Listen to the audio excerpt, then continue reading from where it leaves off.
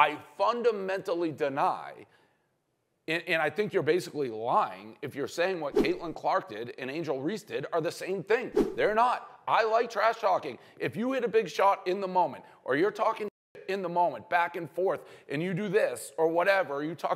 I don't care.